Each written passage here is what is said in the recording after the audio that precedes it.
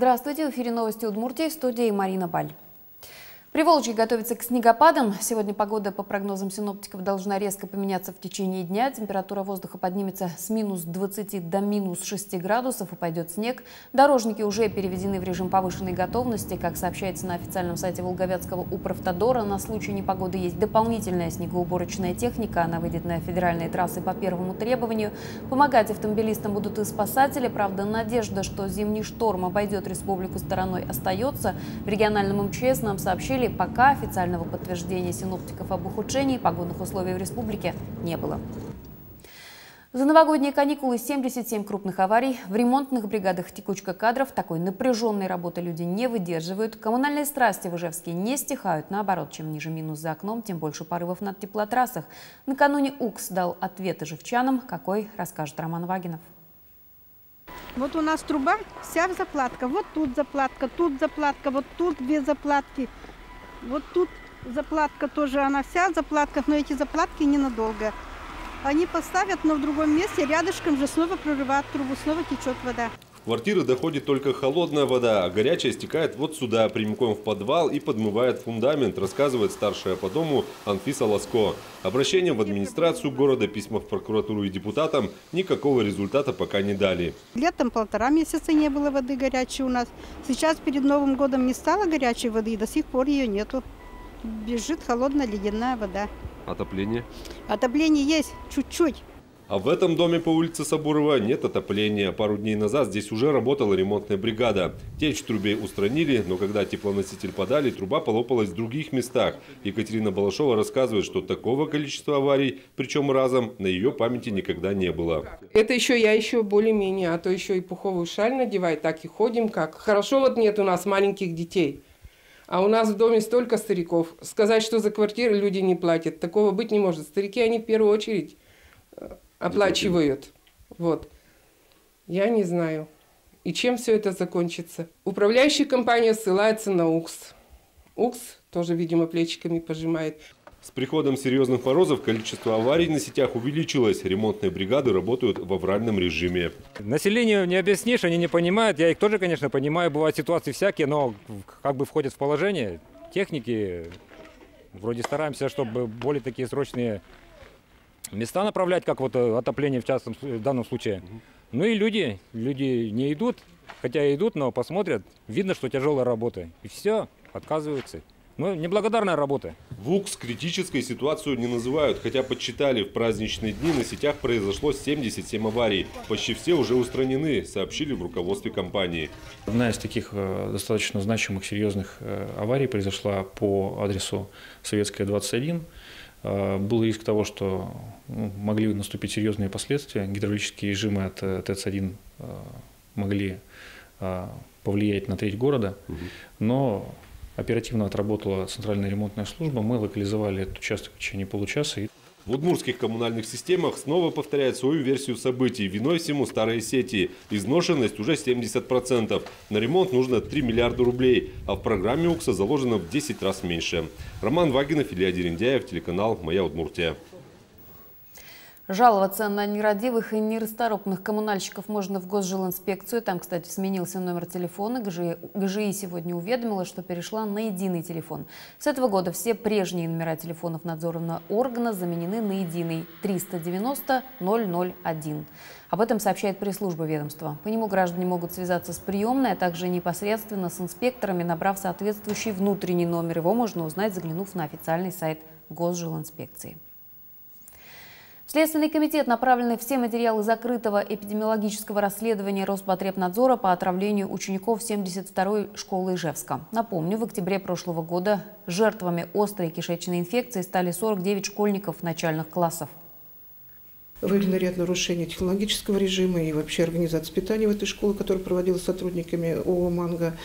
И в частности, мы считаем, что одной из причин заражения заболевания является именно инфицирование продуктов питания, которые были проведены, изготовлены именно сотрудниками, больными сотрудниками этой э, столовой. Тогда четыре ребенка было госпитализировано, остальные лечились амбулаторно. Все замечания Роспотребнадзора переданы для дальнейшего расследования. Им займется Следственный комитет. Новых случаев вспышек острой кишечной инфекции эпидемиологами не зарегистрировано. В Удмуртии пополнение. 454 малыша родилось в республике за 10 новогодних дней. Минздрав Удмуртии рассекретил данные о том, кто в республике родился первым, где и во сколько, и сообщил полезную новость для будущих родителей. Тему продолжит Светлана Буланова. Акушерка Валентина Липина Новый год встречала на посту. Вечером 31-го родился мальчик, а ночь на втором этаже родильного отделения пятого роддома была спокойной. Всегда вроде же на смене ждешь вот поступит, вот поступят. Ну, не поступили. Такое в пятом роддоме бывает редко, но в этом году случилось. Первые роды в 2016 принимали днем, и родилась девочка. Зато самым первым новорожденным в Удмуртии стал мальчик. В перинатальном центре акушеры трудились всю ночь, помогая появиться на свет малышу. Его бирку с надписью «0 часов 10 минут» мама будет хранить всегда. Их уже выписали, а сегодня на выписку готовится и Ольга Симонова. Сынишку родила накануне Рождества. Над именем теперь думает папа как ты еще больше думаешь, быстрее бы домой попасть, и чтобы и у него здоровье было хорошее, нормальное состояние, и у самой. Минздраве посчитали, за 10 дней Нового года в Удмуртии родилось 454 малыша. Это на 80 ребятишек меньше, чем в прошлом году. Объяснение недосчету простое. В прошлом году каникулы были длиннее на день, а за день в республике как раз и рождается по 70-80 малышей мальчиков родилось меньше, чем девочек в этом году. Девочек родилось 229 и 225 родилось мальчиков.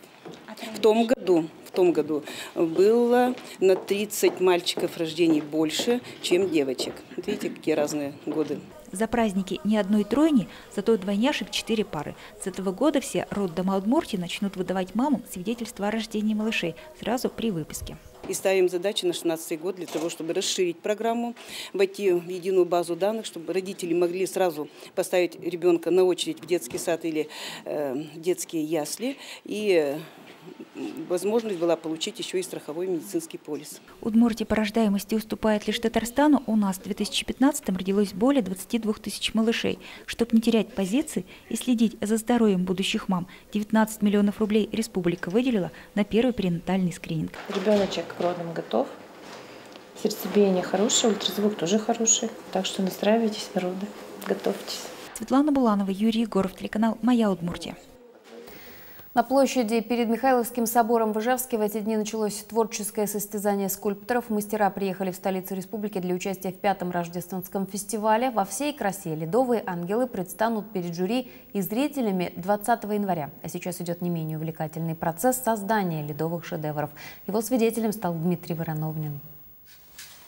Ледовые творения скульптора Анастасии Жук уже видели Барселона, Москва, Петербург. Для ежевчан эта креативная хрупкая женщина, в совершенстве владеющая стаместкой и бензопилой, приготовила особый рождественский подарок. Через два дня на площади перед Свято-Михайловским собором появится двухметровый спящий ангел, символ спокойствия и уюта. Идея как родилась? Да вот я как-то давно уже хотела такую скульптуру сделать, как раз подошла тематика и очень так вот э, по, по технике и по материалу она да, получилось, что ну, подошла по всему. Ну, в основном а, пилы, стамески, а, вот, вручную это все делается. Свои эскизы для участия в пятом юбилейном фестивале «Ледовых ангелов» прислали 10 скульпторов и художников из разных городов страны. Ежевчанин Анфим Ханыков – единственный, кто создавал свои творения на всех фестивалях. На сей раз выбрал образ Георгия Победоносца. Сегодня только приступил к работе. Лед вообще очень благодатный материал. И это мы все состоим из воды. И Фестиваль ангелов – это такое, мы как бы призываем небесное, небесное воинство ангелов на землю. Хотим, как бы, ну, каждый, каждый раскрывает своего ангела. Для создания 10 скульптур организаторы фестиваля завезли на площадь перед Михайловским собором почти 50 тонн массивных ледовых блоков. Работа в эти дни кипит. Ваяние ледовых фигур – занятие сродни ювелирному искусству. Лед – материал хрупкий, и не каждый может создать из неотесанной глыбы хоть что-то стоящее. В помощь лишь три инструмента – стаместки, электро- и бензопилы. Масса этой ледовой скульптуры почти 5 тонн. От идеи создания до воплощения в жизнь уходит 4 дня. Работа трудоемкая с использованием массы инструментов, но организаторы говорят, оно того стоит. И с удовольствием приглашают всех жителей Удмуртии посетить этот рождественский ледовый фестиваль. Все будет готово к 20 января. Именно в этот день объявят имена лауреатов 5-го ледового фестиваля ангелов. Дмитрий Вороновнин, Юрий Дроздов, телеканал «Моя Удмуртия». На этом у нас все. Хорошего вам дня. До свидания. Радоваться жизни и встречать новый день с улыбкой можно в любом возрасте. Действенную помощь в борьбе за здоровье оказывает продукция компании «Еламед». Одним из самых популярных аппаратов является «Алмак-01». Компактный магнитотерапевтический аппарат «Алмак-01» может применяться при лечении артритов, артрозов, осложнений сахарного диабета, после травм и операций восстановительный период.